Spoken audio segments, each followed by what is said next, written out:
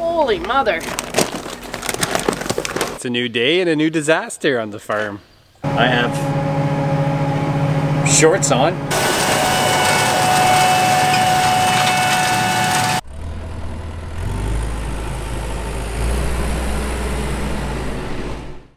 G'day. How's it going, eh? That's my impersonation of a Canadian. So we're back to field work today. We've had a little hiatus over the uh, last la latter part last week, over the weekend. And uh, today is Thursday, May 21st. Yesterday was the first day we had over 20 degrees Celsius on May 20th of 2020. A lot of 20s, but we're quite happy about it. As you notice, I'm in a t-shirt uh, today, and uh, we just started field work again.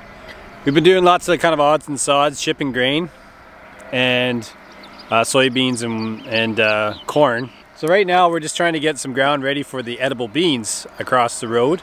So Jess is running the joker across the corn stalks there. Uh, Jack's going to spread some fertilizer in the wagon there, some urea uh, for some edible beans over at our farm by Hensall.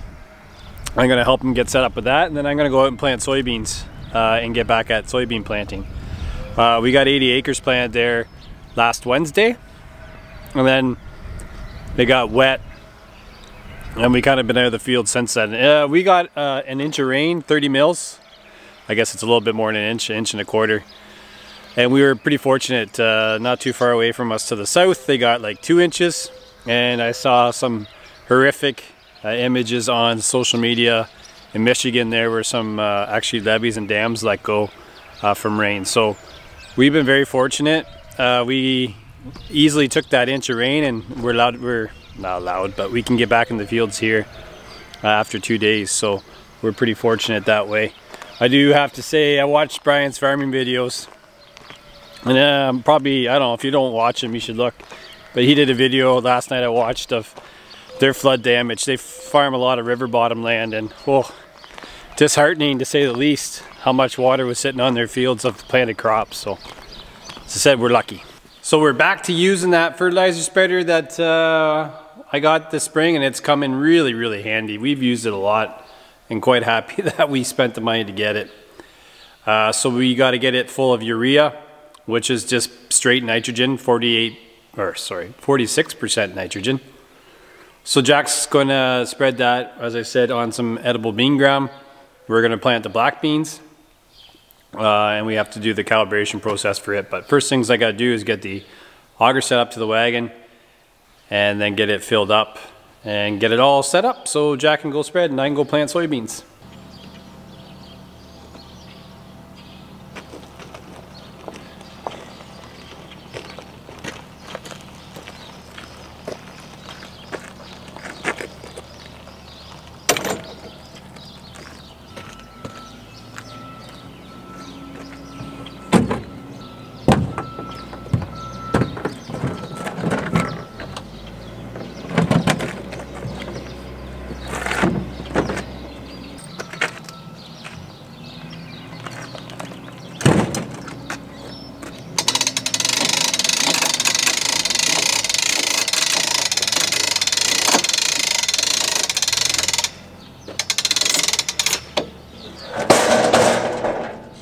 Auger is set up. I'm just gonna back the tractor and spreader underneath, get it filled up, grab a sample of fertilizer, do the shaky shaky test that I showed in another video.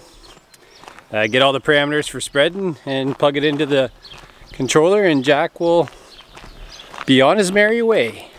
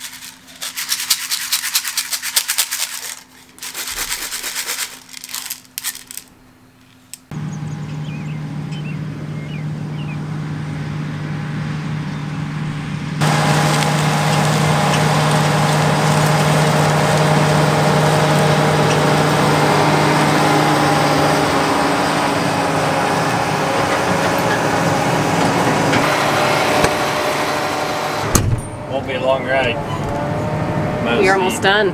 Oh, you're almost out of seed. I went and saw your canola. Yeah. Yeah. It's beautiful.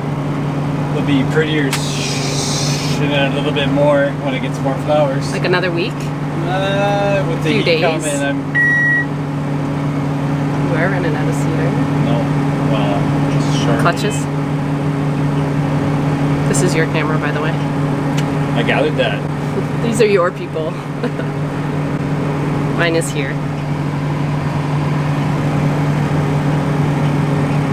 Dare I say I'm hot? It's warm. I think I might have to put some shorts under these beautiful bibs. It's gonna get hotter. Well, after I grabbed a bite to eat, I forgot to grab my camera. Sandy was gracious enough to bring it out uh, to me right when I was running out of seeds. So I planted 40 acres, got the drill uh, really low, and I'm gonna put a different variety in so we can do a comparison uh, between two uh, different bean varieties. So we're just gonna load up with a pro box of that variety and head back and try to get that field planted and see how much more seed we're going to need to finish it but it's going to be close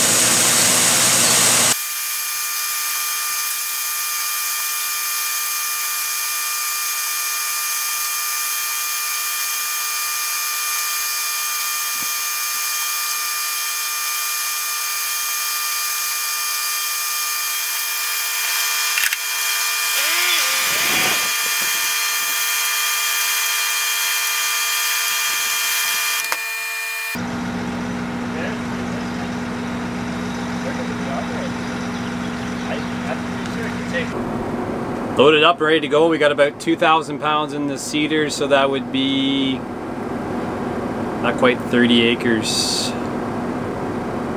We'll see what we can get squeezed out of her, but yeah, probably about 25. Uh, yeah, we get that field done. We'll get this seeder cleaned out tonight. Switch it over to IP beans and start planting them tomorrow. And hopefully I can the last couple tanks of spray off tonight. I was spraying our winter wheat for weeds. Uh, we just have enough dandelions and stuff, so need to get that cleaned up. So no shortage of jobs to do.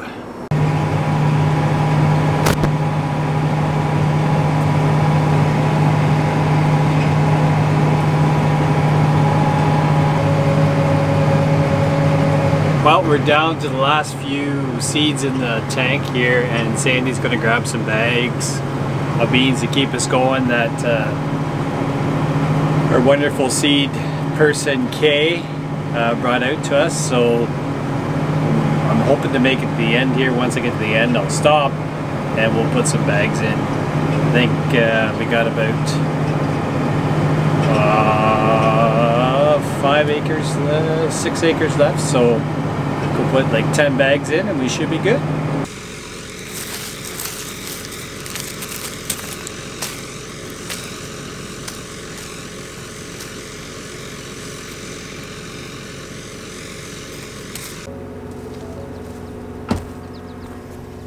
Yeah, she was saying these. Just toss those two off to the side and then we'll do the, the other one's a nine, nine threes or something. I think I only need 10 bags and then we'll just Holy mother!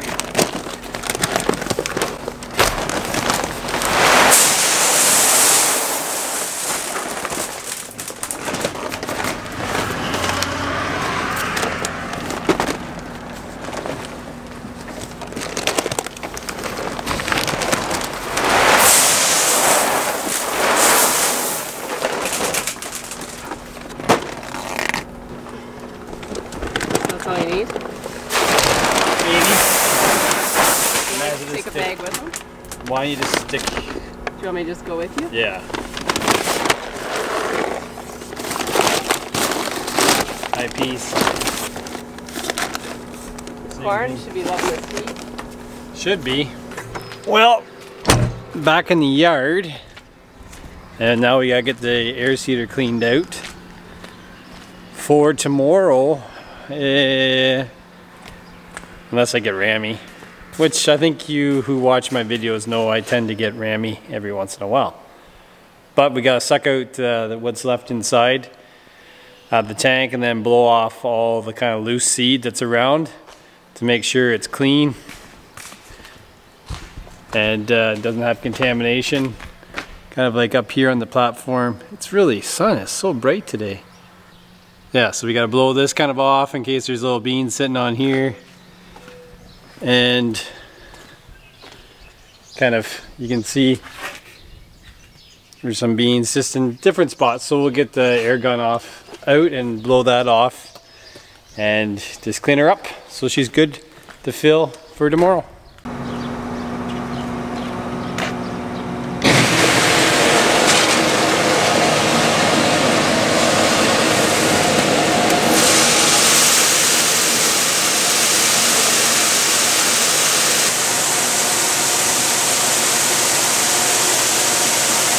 Well, it's Friday, it's a new day and a new disaster on the farm. These two pieces should be on my sprayer, but in an effort to try to be super efficient last night, I decided to clean out my sprayer after finishing up spraying the wheat last night uh, so I can get uh, ready to spray some pre-emergent herbicides for our IP soybeans. I backed into a bucket by the sheep barn where I kind of clean out my sprayer and I broke the pipe. And I saw stuff hanging and I'm like, oh, that's not good. So, Sandy's gonna have to go for a bit of a drive today to get some parts for me. But, as you can see up here, that should be there. God dang birds. Nesting everywhere. I blame your barn. Anyways, uh, so Sandy's gonna run and get the part for me. I'll have to tear apart this afternoon and get that fixed and go from there. Okay, that's better. Full memory card. Not good. So I got a fresh one and we're good to go again. Anyways, about the sprayer. Sandy's gonna go get the pipe for me. It's about an hour and a half away, which for some might not seem long, but for us that's bit of a drive. So she's gonna grab that. I'll get it fixed up after she gets back and probably get her to start planting some soybeans. I'm gonna start now on the farm here beside us and we'll go from there. Well, as we continue our fantastic Friday, because uh, it's Friday, it's beautiful outside, I have shorts on, which is another fantastic thing. And our corn's coming up. I haven't really gone out to see how well it's coming up, but uh, the field beside me here, the other side of these trees, is coming up. I can see it kind of through the tree line. So that is a good sign. And uh, the beans are going in. I got the population set pretty good. Uh, in 15 inch rows, we like to plant around 120, or sorry, 175,000 seeds per acre. Uh, we're planting a little bit higher with this stuff. Uh, in no-till, I tend to go about 185, uh, 185,000 seeds per acre. I just find uh, it helps with the push a little bit to come out of the soil. But conditions are good, soil temperatures are awesome, and we're just gonna keep planting away here. This is, uh, as I said, on the home farm. There's a sheep barn over my corner. Uh, we'll see what these beans do. It, they've been, uh, uh, the corn stalks have been worked with the Joker, and we also applied uh, some sheep manure on this to see what it does with soybeans. So, it'll be an interesting experiment. An update on our clutches for our air seeder uh, that Jack and I wired in. I, we didn't really talk too in depth about it, but basically it's a lot like the corn planter, except uh, what it does here is it shuts off half the drill. Uh, so it's two sections, so we have one and two. And basically what happens is when we get into an area that's been already planted, if a, a section can be shut off, it, the clutch will shut off automatically uh, through our Ag Leader system. It was kind of a a fabricated way to do it. It's not uh, not really the simplest way, but it works kind of nice. The one thing I did realize when I was using it yesterday is that it's probably best not to use them when we're playing the headlands because we like to kind of overplan, make sure we get corners. And sometimes they might not turn on fast enough, just the way we are kind of stop and start on a headland. So what I did there was uh, basically just uh, uh, not use them planting this headland here on the home farm today. And once we get going up and down, uh, we turn them on automatically. So you might have heard the monitor beeping over here. This is where I keep track of my population on my uh, drill for the seed. Uh, it's supposed to run the clutches, I can do it manually, but the thing is the Ag Leader takes over and it thinks it's planting, but the Ag Leaders say no, you shouldn't plant, so it beeps at me to say there's no seed coming out. But that's about it. So if it gets really annoying, we can just kind of trick the display on the John Deere here to say it's off and it's not a big deal. So pretty happy with how it's working. So these boxes down here are basically the row units that are planting. It's kind of giving me an idea of population up here and just scan, scan through the different rows to see how it's going. We have uh, load cells on the drill. It keeps track of the weight so I know if we're empty and then we can calibrate it for the right population. We do plant in pounds per acre, but we know how many seeds per pound there are, so it's not too bad that way. And then as I said, the Ag Leader here is controlling the uh, clutches and you can kind of see split lines here. So that's one half and that's the other half. So it's all working pretty good. It's pretty simple once you get it running. And uh, it's kind of an update. See the drill behind me.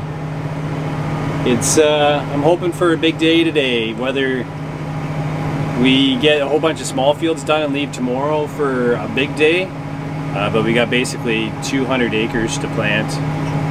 Well, not quite 200, about 170. Don't think I can do it in a day because we have a couple small fields and a big move, but we'll be done soybeans tomorrow, which will be nice because we can get this tractor off the air seeder, put it on the joker, get the tractor on the joker off onto my planter, and I can actually maybe start planting some edibles. We'll see how it goes. Forecast is kind of catchy. One day it, one day it shows rain coming, the other day it shows nothing. So don't know. Just gonna just gonna wing it. 30 acres of IP beans planted. So just gonna fill it up, head down the road, do another 32 acres. That'll be all the small fields out of the way and then we'll head to the big one probably later today or tomorrow. But uh, yeah, time to get filled up.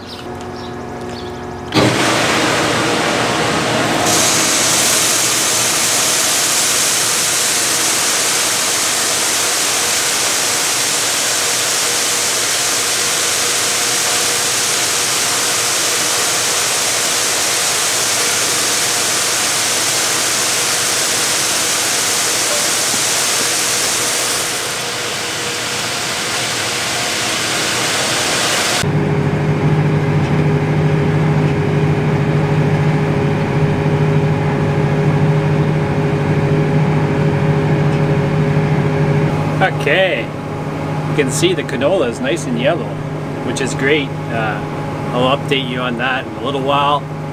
Uh, and we're done the last little small no-till field here. So we'll go home, fuel up, fill up with seed, go over uh, to our farm over by Hensall and start planting some beans there.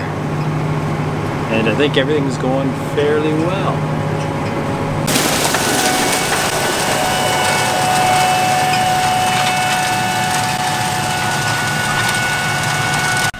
Got kicked off the seat by the other lady in my life.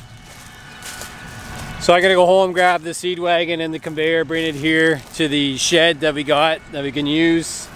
And it's got a welder plug in it so we can plug the conveyor in to this shed. And uh, I can get Sandy filled up. So by the time I get back here, she probably could use seeds. So and then I'll get to fixing my sprayer and hopefully the wind dies down a little bit and I can get uh, some of this stuff sprayed. Got the train ready to go. So we'll head out and get this seed to Sandy. for the bumpy ride down the crappy Hensall Road. So it's near the end of the day uh, and we're here fixing the sprayer finally. Had to help Sandy with some issues with the air seeder. There's a little soybean uh, stalk that was plugging the one hole that meters seed out so it was causing it not to plant and to get in there you got to be a contortionist and I'm old and not flexible and uh, it's not a fun job at all.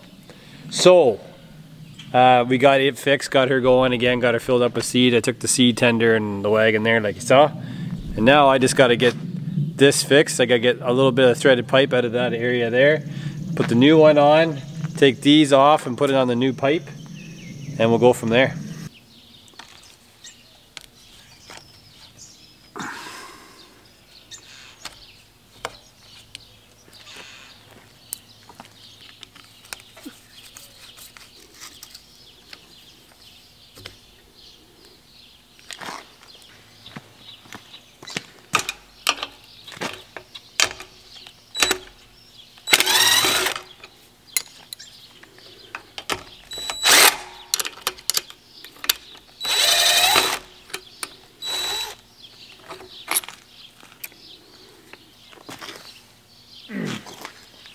Oh, I'm dirty. Anyways, gotta get our special blue gunk on that uh, keeps things sealed up.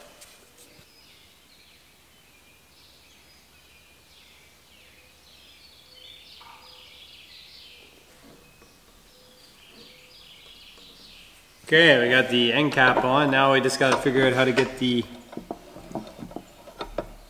inside threads out. So uh, I'm gonna contemplate that one for a little bit. Got it all back together. It wasn't fun.